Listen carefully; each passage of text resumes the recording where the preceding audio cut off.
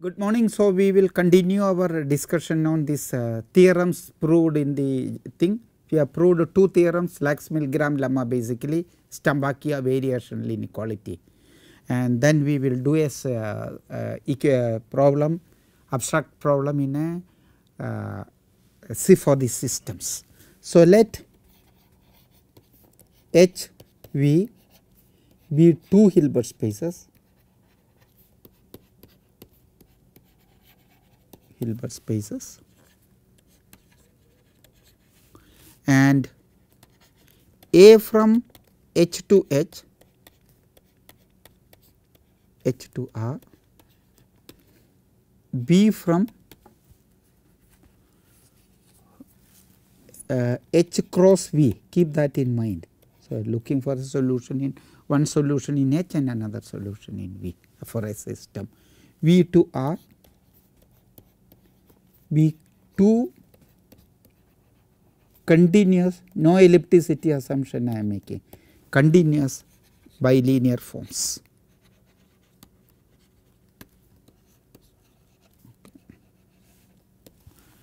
Okay. Let z equal to let of set of all sigma in H such that B sigma V equal to 0 for all V in V okay, for all V in V and this contained in H okay, it is a subspace. So, we make two assumptions that we make assumptions. What are the two assumptions I make? The first assumption one is uh, A is Z elliptic. So, I am not uh, assuming that A is elliptic on H. I am only H elliptic. I am assuming A is Z elliptic that is uh, A sigma sigma greater than or equal to alpha into sigma of course this norm is in H square this happens only for all sigma in Z. This is some kernel Z is going to be some kernel. Okay, so, the I am assuming in the restricted set. The second assumption is is the famous Babuska Brezzi condition. Babuska Brezzi condition. Brezzi condition. This is some sort of a ontoness condition. We will see that soon. This is supremum of B tau V by norm tau over H. This is over tau in H okay. and uh, this should be greater than or equal to some beta into no V this is for all V in V okay. So, there exists some beta there exists beta positive this is here there exists alpha positive That's this is happening. So, these are the two important conditions you have to make these assumptions. Then the conclusion then for k in H L in V there exists a unique pair okay. Unique pair. Sigma u. Sigma in H and u in V. Such that this bilinear form such that A sigma tau plus B tau V is equal to K and B sigma V is equal to L and this happens for for all tau V tau in H and V in V Okay. So, that is a conclusion. So, this is your conclusion. Let me put conclusions, assumptions, everything separate. Okay. Keep this, there is a, uh, so basically what is coming here analyzing this equation is something of an adjoint, you have to see that. So, looking for this variation is V here, this variation is V here, the variation is tau here. So, it is a solution is okay V yeah so there is one small error u should be coming here the solution. Okay so this otherwise you see you do not see the u. Okay. This should be u. Okay so the solution is sigma and u Okay, let me try to prove it slightly uh, because it is a real application of uh, functional the hard theory of application of the uh, this is a variational form what is given is a variational form. So, let me give the proof proof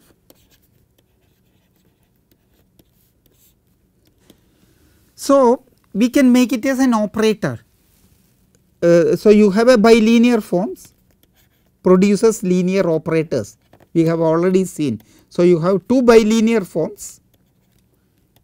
A B gives operators A from H to H and an operator B from H to B. Exactly what we have done for the earlier thing for uh, in the proof of Stampacchia such that okay, A sigma v is equal to A sigma v and B sigma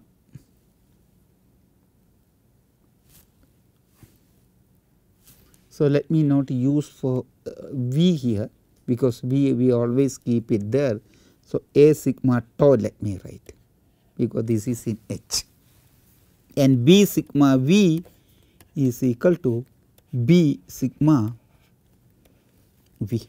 So, you see keep that A sigma is in H it works for thing. Uh, so, it is for all sigma tau in H and V in for all V in V. That is it. So, you have in this operator equation. So, there is a very simple exercise it is not an exercise, but it is to clear the proof if you have any doubts. So, let me write down the this problem this is your problem in the variational form. So, let me call it this is to be star. Okay. So, once you have that to be star so, you see the star is can be rewritten as can be in the abstract form of abstract operator form rewritten as a sigma plus b star of tau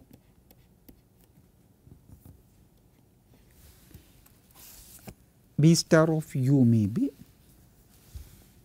yeah this should be B star. I will tell you where this is work. B star of u equal to k and B sigma is equal to L. So, you have an operator equation. Keep that in mind. Okay. So, where is B star? B star is from V to H is the adjoint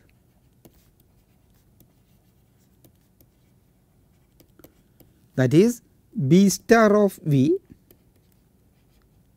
B star of V will be in H. So, B star of V top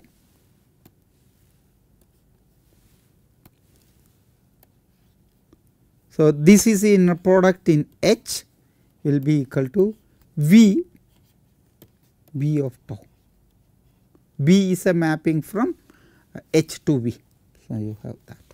So, I call this to be 2 okay. So, uh, or I, let me call it to be star because I am calling star for other thing. So, I will call it star, double star. So, I converted this problem star into a problem double star. Okay, so, let me keep uh, uh, you have more space here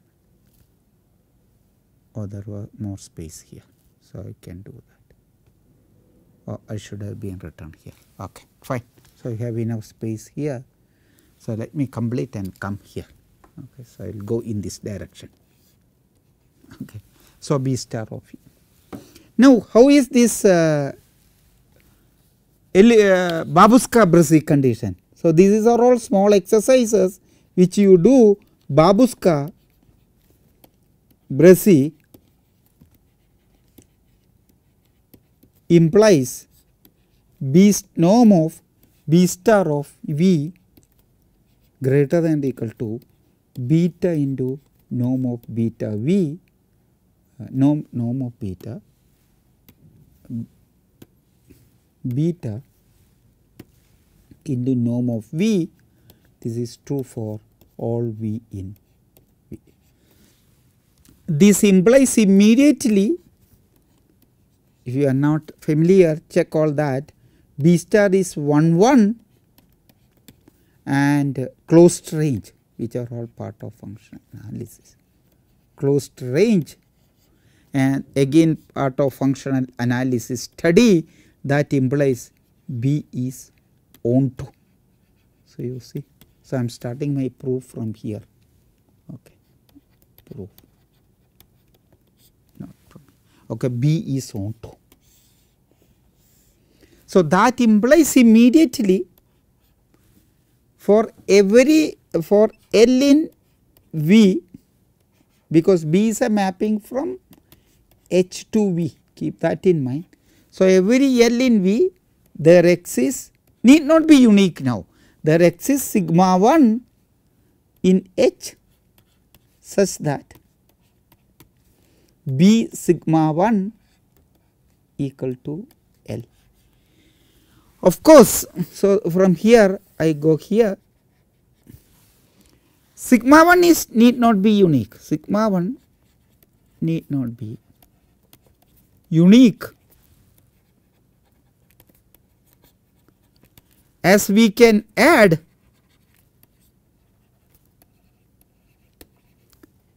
any sigma naught belongs to kernel of B.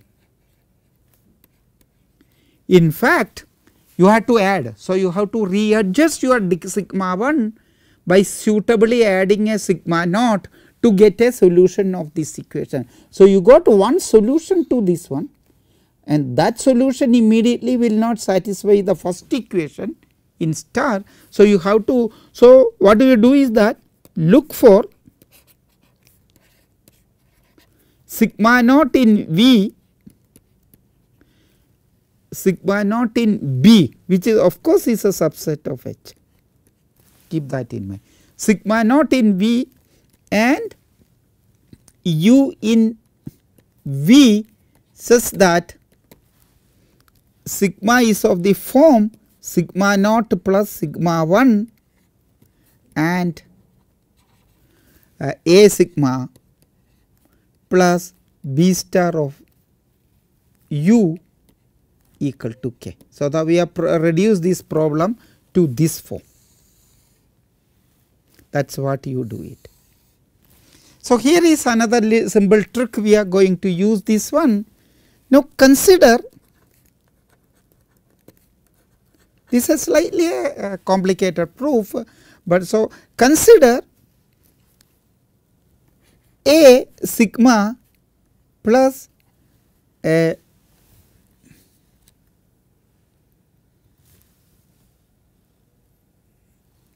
Uh, consider this equation consider this equation a sigma naught equal to without your b star.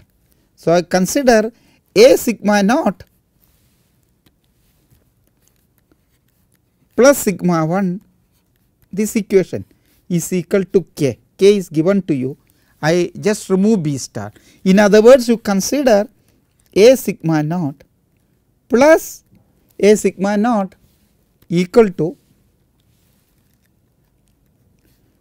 k minus A sigma 1. Okay. Now, I consider this equation not on whole H, I consider this equation on Z. What is the reason there? I do not have the ellipticity of A in H, but I have an ellipticity of A in Z that is what is given yeah that uh, point maybe uh, I, I have to say that. So, the ellipticity of uh, thing so let me write down. Okay so let me write this. Continue from here. So so you have this pro, uh, problem.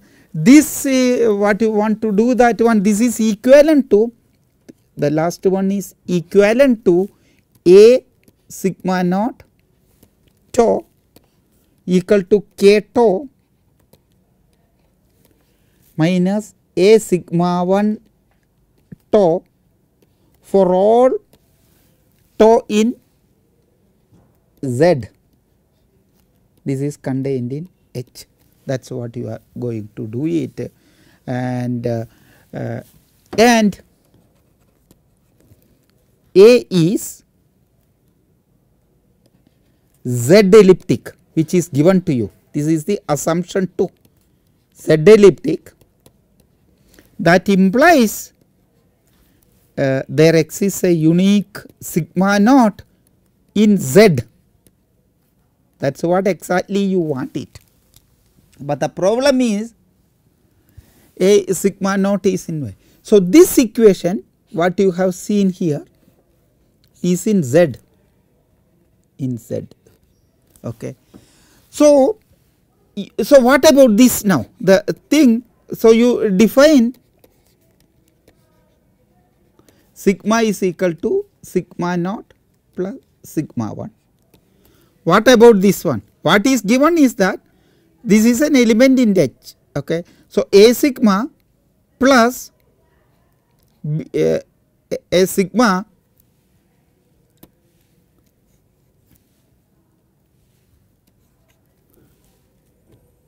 equal to k. Okay. So, uh, I want to look for this equation now. I want to consider we need existence of u so that this is equal to k. This is what we want to prove it. But what you have done is that a sigma equal to k in z and z if you observe this is nothing but the kernel of p. So, that implies your A sigma minus k is in kernel of Z perp that means kernel of B perp. Okay.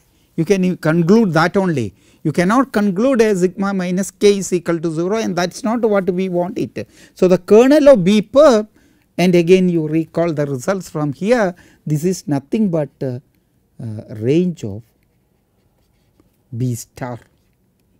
So, this implies uh, there exists uh, there exists uh, an element u of course uh, uniqueness is guaranteed right now.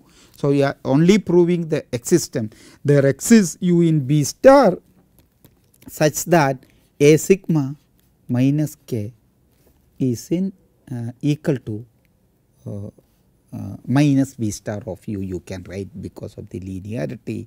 So, minus b star of u or you can write a sigma plus b star of u is equal to k. Indeed, a b sigma is equal to L because b sigma naught is equal to 0. Okay. So, that is the point. So, this does not prove immediately uniqueness, but I will leave it the uniqueness part to you to prove it you prove directly uniqueness. Suppose there exists sigma 1 uh, sigma 1 sigma 2 and u 1 u 2 define the standard way of proving uniqueness define sigma tilde is equal to sigma 1 minus sigma 2 and u tilde is equal to u 1 minus u 2. Okay. So, there is some work involved, but I want you to leave it as an exercise. It is a, a bit you have to prove that one uh, exercise prove sigma tilde equal to 0 u tilde equal to 0. Okay. So, that is a Babuska-Brezzi theorem. So, go through the proof, understand if you are not familiar uh, familiar with uh, uh, and this whatever is there that so uh, it is not completely new to you. In an infinite dimensional setup these things may be new, but in finite dimensional setup this is not completely new because suppose you want to solve it A x equal to b. You see for a matrix A uh, is a matrix A. Then if A is invertible, I think I made this remark already, but I am again once more make if A is invertible then there exists a unique solution. But uh, if A is not invertible, uh, A is uh, uh A is not invertible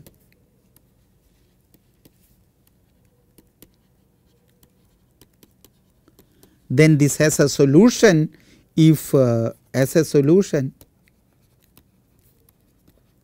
of course if you have to have your b has to be in the range of a. Of course that is a thing. But from here uh, you can see that that is equivalent to p is kernel of a, a transpose right? So you have to look at the solutions of a transpose of x equal to 0 and it should be orthogonal to the solutions of these homogeneous equations. So, that is what we are looking at it. It has so these are all results that kernel B per piece range of A B star are all coming from there. So, we will be applying this theorem at uh, some point of time and uh, now we want to apply this result for the weak formulation, weak solutions. So, you have to how to apply that. So, I will prove it for some boundary conditions, you should also work with other solutions. Recall L naught of u in uh, second order linear elliptic operator in uh, divergence form as d by dxi of aj of x du by dxj equal to f. Uh, in omega and u equal to 0 on d omega. And this is the equation you want to study. So, what are the assumption? Aj, aij is symmetric. Symmetry you do not need to assume. Aj is elliptic. That is the important thing. Elliptic continuous you are assumed and you are given the definitions of that. So, you start with so what is the space you are looking for? So, you are looking for the space uh, from the motivations from the previous uh, course as well as from this course now you are looking for a solution in this Sobolev space because to take the boundary condition so, you are looking for plenty of motivations are given uh, u in H1 naught space. So, that is your Hilbert space. So, you look for solutions there. So, how do you get a big formulation? Uh, choose uh, and you assume f is in L2 of omega. Actually, uh, can assume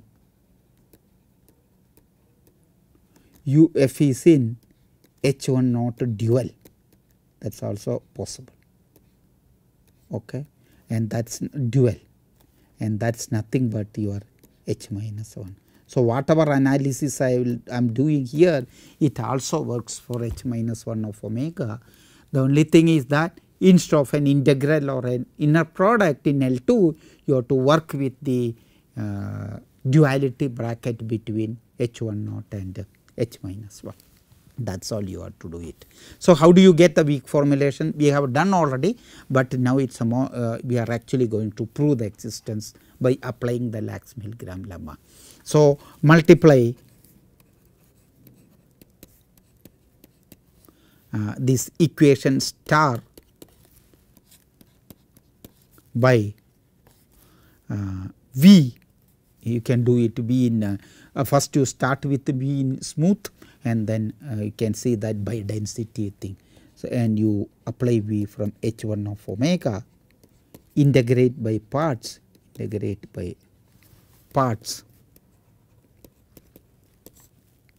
to get the weak formulation integral of a j of u x du by dx j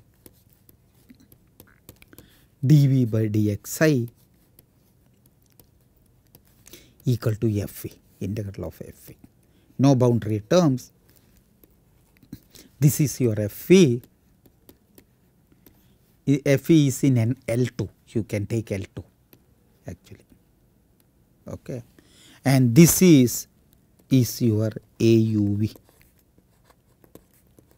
So your problem is so that implies you look for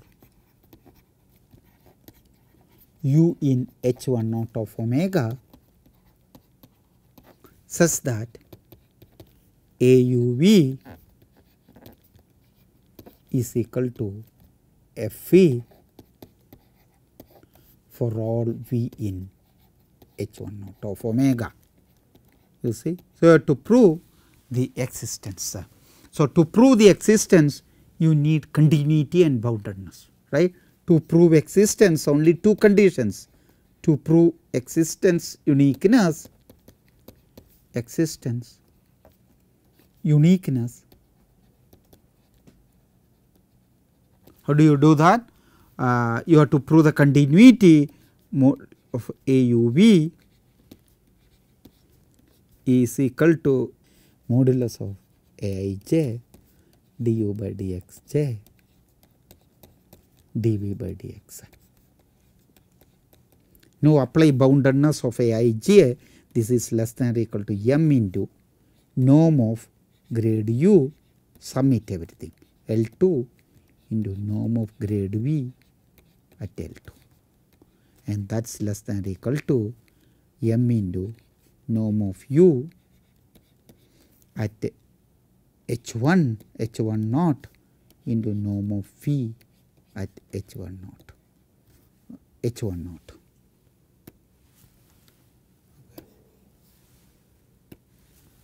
We get H1 naught of omega and that uh, is that is continuity. What about ellipticity? Continuity. So, you have to prove H1 naught ellipticity. Okay, so, we need to prove H1 naught ellipticity. How do you prove that one? So, you have to compute AUU this is equal to integral of Aij of x du by dxj I am again repeatedly writing first time du by dxj i and this of course you know that uh, by ellipticity this is alpha into norm of grade u square. You see. So, you have that, but what we need is this one. This is the question.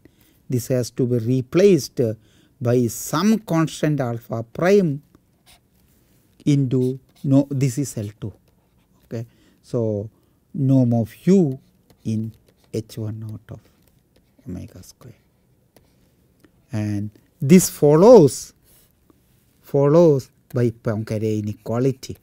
Follows by Poincare inequality. Where Poincare inequality? If you are not convinced and if you are studying first time Poincare inequality norm u at L2 is less than or equal to norm grade u at L2. So, you can estimate some grade u but you can put it mu. So, this can be proved. If not, uh, do it as an exercise. If you are learning for the first time, you have to do it that way. So, you have anything that implies uh, there exists uh, unique u. This is by Lax Milgram. Milgram. There exists a unique u in H 1 naught of omega such that AUV is uh, uh, equal to FV for all V in H 1 naught. Okay. So, so, there is a continuity estimate maybe we will do it later for the uh, when I assume even the non homogeneous case situation.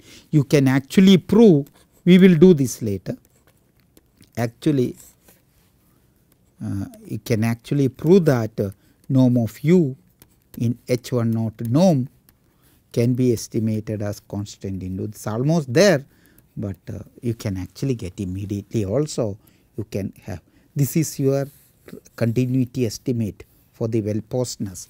Hence, uh, this problem is actually well posed. Okay. Uh, should I do something more?